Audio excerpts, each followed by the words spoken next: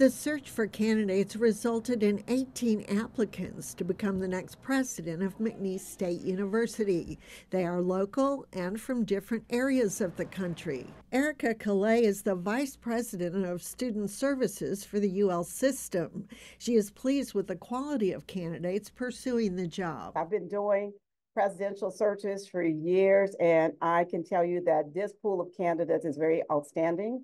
Uh, we have an excellent, um, I think, an excellent group in terms of diversity um, background. She says many have the kind of higher education experience they want from McNeese.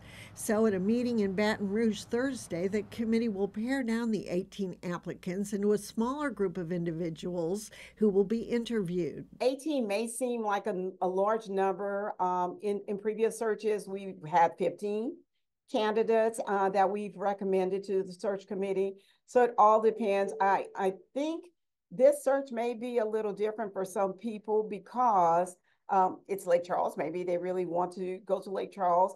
I think they are looking at uh, the potential that McNeese State University has those who make the pared down list will be invited to come to the McNeese campus April 16th and 17th to undergo interviews. After the interviews, the search committee will identify finalists to recommend to the full board of supervisors, which then interviews the finalists and picks the next president for McNeese. That's expected to happen at a special board meeting April 25th.